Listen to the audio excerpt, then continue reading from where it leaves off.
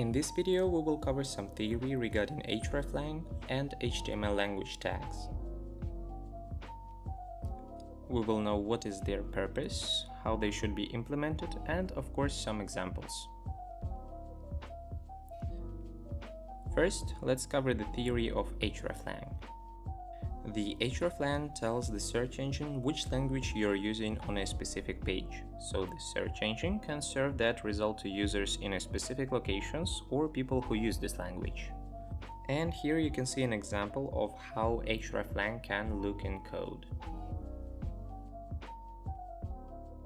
For example, if you create a different language version, Spanish for example, of your English language homepage, you would provide it to users by using a specific hreflang tag, so that users with relevant IPs are served that page in Spanish instead of the English version.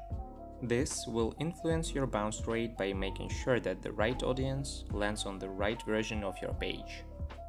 Keep in mind that while Google and Yandex currently use the hreflang attribute, search engine Bing uses language meta tags. So what's up with HTML lang then? So the HTML lang attribute does not have much impact on SEO when it comes to Google. Google has explicitly said that they ignore the tag in favor of hreflang tags. Even though using the HTML language declarations won't make your site rank higher, it's still best practice to include it for usability and accessibility reasons. So how they should be implemented, since there are a lot of ways on how to do it and there's even automated uh, plugins for WordPress and a lot of information on the web.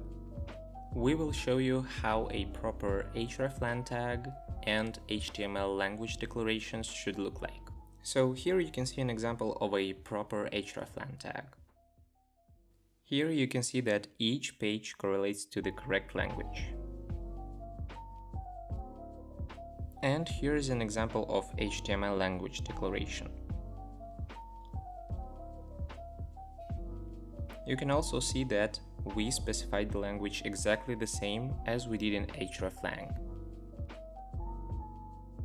And now you're all caught up on the basic theory about hreflang and HTML language declarations.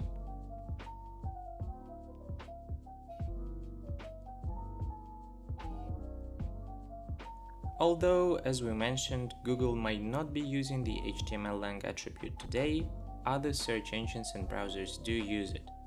Make sure your pages have the language or language and country uh, code declared in HTML lang attribute. Note that the language code must conform to a specific format.